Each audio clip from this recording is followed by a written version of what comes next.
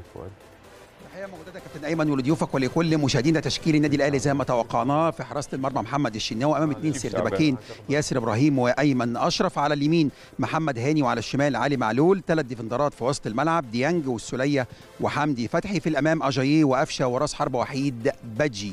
دكة بدلاء النادي الأهلي اليوم علي لطفي في حراسة المرمى مصطفى شوبير رامي ربيعة أحمد فتحي محمود وحيد العربي بدري وليد سليمان جيلاردو مروان محسن. يا رب بإذن الله يا رب يا رب. بإذن الله يكون الفوز من نصيب النادي الأهلي ويضاف ثلاث نقاط جديدة لرصيد النادي الأهلي عشان نقرب خطوة كبيرة جدا من حسم اللقب. عودة لكم من جديد. اتفضلوا. شكرا مراسلنا شريف شعبان.